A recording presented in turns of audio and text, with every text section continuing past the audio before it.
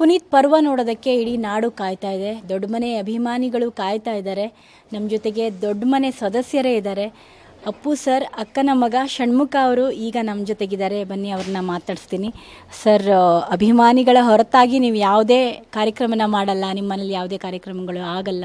ಪುನೀತ್ ಪರ್ವ, ಇದೊಂದು ಬರೀ ಪ್ರೀ ರಿಲೀಸ್ ಈವೆಂಟ್ ಅಲ್ಲ. ಸಾಕಷ್ಟು ಜನರಿಗೆ ಕ್ಯೂರಿಯಾಸಿಟಿ ಇದೆ. ಹೇಗೆಲ್ಲ ಇರುತ್ತೆ? ಏನು ರೂಪರೇಷೆ ಇರುತ್ತೆ ಅಂತ. ಅದ್ರ ಬಗ್ಗೆ ತಮಗೆ ಸರಿಯಾಗಿ ಗೊತ್ತಿರುತ್ತೆ. ಮಾಹಿತಿ ಕೊಡಿ. ಮೇಡಮ್ ಈ ಪುನೀತ ಪರ್ವ, ಇದು ನಮ್ಮ ಅಪ್ಪು ಮಾಮನ್ನ ನಾವು ಒಂದು ರೀತಿಯಲ್ಲಿ ಆಚರಣೆ ಮಾಡೋ ಒಂದು ನಮಗೆ ಸಂದರ್ಭ.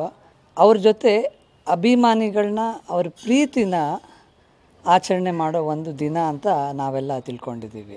ಅಭಿಮಾನಿಗಳೆಲ್ಲ ಸಾಕಷ್ಟು ಮಂದಿ ಬರ್ತಾ ಇದ್ದಾರೆ. ಅಂದರೆ ಬರೀ ಕೌಂಟ್ಲೆಸ್ಸು ಯಾಕಂದರೆ ಸಾವಿರ ಅಲ್ಲ ಲಕ್ಷಾಂತರ ಅನ್ನೋದು ಒಂದು ಮಾಹಿತಿ ಬರ್ತಾ ಇದೆ. ಅಭಿಮಾನಿಗಳಿಗಾಗಿ ಏನು ಹೇಳ್ತೀರಾ? ಈ ಪ್ರೀತಿ ಅಭಿಮಾನಿಗಳು ನಮ್ಮ ಮೇಲೆ ಇಟ್ಟಿರೋದು ಎಷ್ಟು ಕಾಲದಿಂದ ಅಂತ ನಾವು ಹುಟ್ಟಕ್ಕೆ ಮುಂಚೆಯಿಂದನೂ ಈಗಲೂ ಯಾವತ್ತೂ ಒಂದು ಸ್ವಲ್ಪನೂ ಕಮ್ಮಿ ಆಗಿಲ್ಲ, ಅದು ಯಾವತ್ತೂ ಆಗೋದೂ ಇಲ್ಲ. ಅದಕ್ಕೆ ನಾವು ಎಷ್ಟು ಅವ್ರಿಗೆ ಧನ್ಯವಾದ, ಕೃತಜ್ಞತೆ ತಿಳಿಸಿದ್ರೂ ಸಾಲಲ್ಲ. ಅವ್ರಿಗೆಲ್ಲರಿಗೂ ದೊಡ್ಡ ಒಂದು ನಮಸ್ಕಾರ, ಅವ್ರ ಕಾಲ್ಗಳಿಗೇ ನಮಸ್ಕಾರ.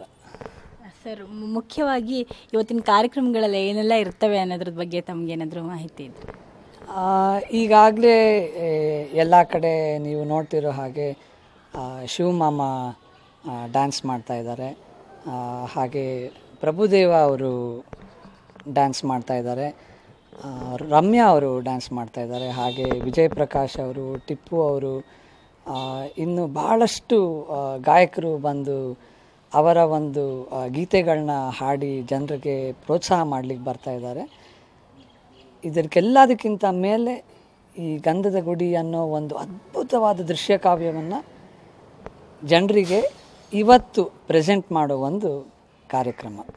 ಮುಖ್ಯವಾಗಿ ಗಂಧದ ಗುಡಿ ಬಗ್ಗೆ ಏನಾದರೂ ತಮ್ಮ ಹತ್ರ ಎಲ್ಲ ಶೇರ್ ಮಾಡ್ತಿದ್ರಾ ಅಕ್ಕನ ಮಕ್ಕಳು ಎಲ್ಲರೂ ಅವರು ಒಂದು ದೊಡ್ಡ ಫ್ಯಾಮಿಲಿ ನೀವೆಲ್ಲ ಸೇರಿದಾಗೆಲ್ಲ ಮಾತುಕತೆ ಎಲ್ಲ ಮಾಡ್ತಿದ್ರ ಹೇಗೆ? ನನಗೆ ಕರೆಕ್ಟಾದ ಡೇಟ್ ಟೈಮ್ ನೆನಪಿಲ್ಲ. ಒಂದ್ಸಲಿ ಹೀಗೆ ಮಧ್ಯಾಹ್ನ ಸುಮಾರು ಒಂದು ಮೂರು ನಾಲ್ಕು ಗಂಟೆ ಇರ್ಬೋದು. ದಿರೇನ್ ಆಮೇಲೆ ನಾನು ಇಬ್ಬರು ಹೋಗಿದ್ವಿ ಅಪ್ಪ ಮಾಮನ ಮನೆಗೆ. ಇದ್ರು ಮಾಮ. ಫಸ್ಟ್ ಟೈಮ್ ಅದರದ್ದು ಒಂದಷ್ಟು ವಿಜುವಲ್ಸ್ ತೋರಿಸಿದ್ರು. ರಾ ವಿಜುವಲ್ಸ್ ಇನ್ನು ಎಡಿಟ್ ಕೂಡ ಆಗಿಲ್ಲ ಕಟ್ ಮಾಡಿರಲಿಲ್ಲ. ತೋರಿಸಿದ್ರು. ನಮಗೆ ಏನು ಮೈಂಡ್ ಬ್ಲೋಯಿಂಗ್ ರೋಮಾನ್ಸ್ನ ಆಗೋಯ್ತು. ಎಷ್ಟು ಈ ನಾವು ಕೇಳಿದ್ವಿ. ನಾವು ಎಲ್ಲ ಇಡೀ ನಮ್ಮ ಕರ್ನಾಟಕದ ಪ್ರದೇಶದಲ್ಲಿರೋ ಅಷ್ಟು ವನ್ಯ ಪ್ರದೇಶನ ನಾವು ನೋಡಿಲ್ಲ. ನೋಡಿದ್ದೀವಿ ಎಲ್ಲ ನೋಡಿರಲಿಲ್ಲ. ಅವರು ಸಾಕಷ್ಟು ಕಡೆ ಹೋಗಿ ಶೂಟ್ ಮಾಡಿದ್ದು ನಾವು ಒಂದಷ್ಟು, ಒಂದು, ಏನೊಂದು, ಒಂದು, ಒಂದೂವರೆ ನಿಮಿಷ ಇರಬೇಕು ಅವ್ರು ತೋರಿಸಿದ್ದು. ನಮಗಾಗಲೇ ಅನಿಸಿತ್ತು, ಇದು ಎಲ್ಲೋ ದೊಡ್ಡ ಮಟ್ಟಕ್ಕೆ ಹೋಗುತ್ತೆ ಇದು ಏನೋ ಒಂದು ಆಗುತ್ತೆ. ಅವರ ಒಂದು ಕನಸು, ಅವರು ಸಾಕಾರ ಮಾಡ್ಕೊಳ್ಳೋ ಥರ ಅವರು ಅದನ್ನು ಮಾಡಿದರು. ಗಂಧದ ಗುಡಿ ಅನ್ನೋ ಟೈಟ್ಲೇ ನಿಮ್ಮ ಫ್ಯಾಮಿಲಿಗೆ ಅದು ಒಂದು ರೀತಿಲಿ ಬಳುವಳಿ ಬಂದಿರೋವಂಥದ್ದು. ಏನು ಅನಿಸುತ್ತೆ ಟೈಟ್ಲ್ ಕೇಳಿದಾಗ ನಿಮ್ಮ ಪರ್ಸ್ನಲಿ? ಗಂಧದ ಗುಡಿ ಅನ್ನೋದು ಭಾಳ ಒಂದು ಮುಖ್ಯವಾದ, ಸ್ಪೆಷಲ್ ಆದ ಒಂದು ಟೈಟಲ್ ಹೆಸರು ನಮಗೆ. ನಮ್ಮ ತಾತನ ನೂರ ಐವತ್ತನೇ ಚಿತ್ರ ಅದು. ಅಲ್ಲಿ ಕಾಡಿನ ಬಗ್ಗೆ ಕಾಡಿನ ಜನರ ಬಗ್ಗೆ, ಕಾಡು ಪ್ರಾಣಿಗಳ ಬಗ್ಗೆ ಎಷ್ಟು ಚೆನ್ನಾಗಿ ಆ ಕಾಲದಲ್ಲೇ ತೋರಿಸಿದ್ರು ಎಂ ಪಿ ಶಂಕರ್ ಅವ್ರ ಪ್ರೊಡಕ್ಷನ್ನಲ್ಲಿ ಹಾಗೂ ವಿಜಯ್ ರೆಡ್ಡಿ ಅವರ ಡೈರೆಕ್ಷನ್ನಲ್ಲಿ ಭಾಳ ಸುಂದರವಾಗಿ ಅದನ್ನು ತೋರಿಸಿದ್ರು.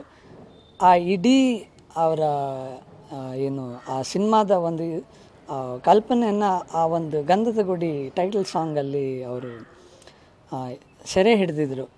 ನಾನು ಒಂದು ಒಂದು ವಾರದ ಕೆಳಗೋ ಇಲ್ಲ ಎರಡು ವಾರದ ಕೆಳಗೋ ಟೈಟಲ್ ಇದು ಸಾರಿ ಟ್ರೇಲರ್ ನೋಡಿದಾಗ, ಈ ಅಪ್ಪು ಮಾಮನ ಗಂಧದ ಗುಡಿ ನೋಡಿದಾಗ, ನನಗೆ ಆ ಹಾಡು ಎಲ್ಲೋ ನನ್ನ ತಲೆಯಲ್ಲಿ ಹಿಂದ್ಗಡೆ ಗುಣಗ್ತಾ ಇತ್ತು. ಆ ಹಾಡಿನಲ್ಲಿ ಎಷ್ಟು ಚೆನ್ನಾಗಿ ಕರ್ನಾಟಕದ ವನ್ಯ ಸಿರಿಯನ್ನು, ಆ ಹಾಡಲ್ಲಿ ಹೇಳಿದಾರೋ ಅಷ್ಟು ಈಗ ಸ್ಕ್ರೀನ್ ಮೇಲೆ ಈ ಗಂಧದ ಗುಡಿಯಲ್ಲಿ ನಮಗೆ ನೋಡೋಕ್ಕೆ ಸಿಗುತ್ತೆ. ಅದೇ ನನಗೆ ಗಂಧದ ಗುಡಿ. ಅಪ್ಪು ಸರಿಂದ ಸಾಕಷ್ಟು ವಿಷಯಗಳನ್ನು ಹಲವರು ಅಳವಡಿಸ್ಕೊಳ್ತಾ ಇದ್ದಾರೆ. ತಾವು ಮಾಮನ ಬಗ್ಗೆ, ಅಪ್ಪು ಮಾಮನ ವಿಷಯನ ಯಾವುದನ್ನ ತಗೊಂಡು ಬರ್ತಿದ್ದೀರಿ ಅಂತಂದರೆ ತಮ್ಗೆ ತುಂಬ ಇಷ್ಟ ಈ ಥರದ ಗುಣ. ನಾನು ಅದನ್ನ ಜೀವನದಲ್ಲಿ ಅಳವಡಿಸ್ಕೋಬೇಕು ಅನ್ನೋದಾದರೆ. ನಾವು ಅಪ್ಪು, ಮಾಮನ ಬೇರೆ ಎಲ್ಲ ವಿಷಯಗಳನ್ನು ಕಣ್ಣಾರೆ ನೋಡಿದ್ವಿ. ಅವರು ಭಾಳ ಜನ, ಅವರಿಗೆ ಊಟದ ಮೇಲಿದ್ದ ಒಂದು ಪ್ರೀತಿ ರೆಸ್ಪೆಕ್ಟು ಅನ್ನದ ಮೇಲಿದ್ದ ಭಕ್ತಿ ಎಲ್ಲ ನೋಡಿದರು. ಆಮೇಲೆ ವರ್ಕ್ ಎಥಿಕ್ಸ್ ಯಾವತ್ತೂ ಸೆಟ್ಟಿಗೆ ಲೇಟಾಗಿ ಹೋಗ್ತೇ ಇರೋದು. ಡೈರೆಕ್ಟ್ರಿಗೆ ರೆಸ್ಪೆಕ್ಟ್ ಕೊಡೋದು. ಅವ್ರು ಯಾವಾಗಲೂ ಹೇಳ್ತಿದ್ರು ನನ್ನ ಮೇಲೆ ದುಡ್ಡು ಹಾಕಿ ಖರ್ಚು ಮಾಡಿ ಸಿನಿಮಾ ಮಾಡಿದ ಪ್ರೊಡ್ಯೂಸರ್ಗೆ ದುಡ್ಡು ಹಾಕಬೇಕು, ಅವ್ರು ಉಳಿಬೇಕು. ಅವ್ರು ಉಳಿದ್ರೆ ಎಷ್ಟೋ ಜನಕ್ಕೆ ಕೆಲಸ ಸಿಗುತ್ತೆ. ಇನ್ನಷ್ಟು ಸಿನಿಮಾ ಮಾಡ್ತಾರೆ, ಇನ್ನಷ್ಟು ಜನಕ್ಕೆ ಬೆನಿಫಿಟ್ ಆಗುತ್ತೆ ಅಂತ ಯಾವಾಗಲೂ ಹೇಳೋರು, ಅದನ್ನು ನೋಡಿದ್ವಿ. ಅವ್ರು ಎಷ್ಟು ಈಸಿಯಾಗಿ ಜನರ ಜೊತೆ ಮಾತಾಡ್ತಿದ್ವಿ. ಯಾರ ಜೊತೆ ಆದರೂ ಮಾತಾಡೋರು ಬೇರೆಯವರು ಅದೆಲ್ಲ ನಾವು ನೋಡಿದ್ವಿ. ಅವರು ಸಹಾಯ ಗುಣಗಳನ್ನು ನಾವು ನೋಡಿದ್ವಿ. ಕೋವಿಡ್ ಟೈಮಲ್ಲಿ ಎಷ್ಟೋ ಜನ್ಮ, ಜನ ಸಿನಿಮಾ ಮಂದಿ ಆ್ಯಕ್ಟರ್ಗಳು ಟೆಕ್ನಿಷಿಯನ್ಸು, ನಮ್ಮ ಹುಡುಗರು, ಕೆಲಸ ಮಾಡೋ ಕಾರ್ಮಿಕರು ಎಲ್ರಿಗೂ ಭಾಳಷ್ಟು ಜನಕ್ಕೆ ಸಹಾಯ ಮಾಡಿದ್ರು. ಆದರೆ ಎಲ್ಲೂ ಯಾವತ್ತೂ ಅವರು ಹೇಳ್ಕೊಂಡಿರಲಿಲ್ಲ. ಯಾರಿಗೂ ಗೊತ್ತಾಗೋಕ್ಕೂ ಬಿಡಲಿಲ್ಲ. ಅವರು ಇಪ್ಪತ್ತೊಂಬತ್ತನೇ ತಾರೀಕು ಹೋದ ವರ್ಷ ಅಕ್ಟೋಬರ್ ಆದಮೇಲೆ ಅವರ ಬಗ್ಗೆ ಈ ಅವರು ಸಹಾಯ ಮಾಡ್ತಾ ಇದ್ದಂಥ ವಿಷಯಗಳು ಎಷ್ಟೋ ಆಚೆ ಬಂದಿದೆ. ತುಂಬ ಜನಕ್ಕೆ ಅವ್ರು ಮಾಡಿರೋದಲ್ಲದೆ ಎಷ್ಟೋ ಜನಕ್ಕೆ ಪ್ರೋತ್ಸಾಹ ಕೂಡ ಅವ್ರು ಮಾಡಿದ್ದಾರೆ ಅಂತ ನಮಗಿದು ಗೊತ್ತಿಲ್ಲ. ಹೋಗಿ ನೋಡಿ ಇಂಥ ಕಡೆ ಇದೆ, ಇಂಥ ಜಾಗ ಇದೆ, ತಿಳ್ಕೊಳ್ಳಿ, ಮಾಡಿ ಅನ್ನೋದನ್ನು ಅವರು ಹೇಳಿದ್ದಾರೆ. ಅದನ್ನು ನನ್ನ ಹತ್ರ ಬಂದು, ನಮ್ಮ ಹತ್ರ ಬಂದು ಭಾಳ ಜನ ಹೇಳ್ಕೊಂಡಿದ್ದಾರೆ. ನಾವು ಮಾಡಿದ್ದೀವಿ. ಅದಕ್ಕೆ ಅಪ್ಪು ಸಾರೆ ಪ್ರೇರಣೆ ಅನ್ನೋದನ್ನು ಅವರು ಹೇಳ್ಕೊಂಡಿದ್ದಾರೆ. ಜೀವನದಲ್ಲಿ ಏನೇನೋ ಮಾಡ್ಬೋದು, ಆದರೆ ಇದನ್ನು ಜನ ಜ್ಞಾಪಕ ಇಟ್ಕೊಳ್ತಾರೆ, ಅದನ್ನು ಪ್ರೀತಿಸ್ತಾರೆ, ಅದನ್ನು ಪೂಜಿಸ್ತಾರೆ ಅನ್ನೋದು ಈ ತುಂಬ ಒಂದು ಮುಖ್ಯವಾದ ಒಂದು ಗುಣವನ್ನು, ಪಾಠವನ್ನು ನಾನು ಕಲ್ತ್ಕೊಂಡಿದ್ದೀನಿ. ನಾವೆಲ್ಲರೂ ಕಲ್ತ್ಕೊಂಡಿದ್ದೀವಿ. ಎಷ್ಟೋ ಜನ ಹೇಳಿದ್ದಾರೆ, ಏನು ಇಷ್ಟು ವರ್ಷ ನಾವೆಲ್ಲ ಬದುಕಿದ್ದೀವಿ, ಈ ಮನುಷ್ಯ ಇಷ್ಟು ಸಣ್ಣ ವಯಸ್ಸಲ್ಲೇ ಹಿಂಗೆ ಮಾಡಿಬಿಟ್ನಲ್ಲ, ನಾವೆಲ್ಲ ಏನು ಸಾಧನೆ ಮಾಡ್ದಂಗಾಯಿತು ಇನ್ನು ಮುಂದೆ ಆದರೂ ನಾವು ಇದನ್ನು ನಡೆಸ್ಕೊಂಡು ಹೋಗಬೇಕು ಅಂತ ಭಾಳ ಜನ ಅಂದ್ಕೊಂಡಿದ್ದಾರೆ ಕಲ್ತ್ಕೊಂಡಿದ್ದಾರೆ. ಅದೇ ಬಹು ಮುಖ್ಯವಾದ ನಮ್ಮ ಒಂದು ಗುಣ ಅಂತ ನಾನು ತಿಳ್ಕೊಂಡಿದ್ದೀನಿ.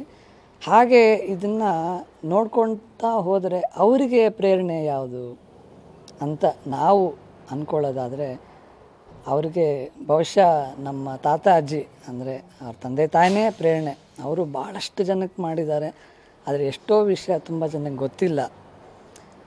ಆ ಗೊತ್ತಿಲ್ಲ ಅನ್ನೋದೇ ಮೋಸ್ಟ್ ಇಂಪಾರ್ಟೆಂಟ್ ಅಂತ ಅವ್ರಿಗೂ ಅನಿಸುತ್ತೇನೋ ಮಾಡಿದ್ರೆ ಇನ್ನೊಬ್ರಿಗೆ ಗೊತ್ತಾಗಬಾರ್ದು ಅನ್ನೋದೇ.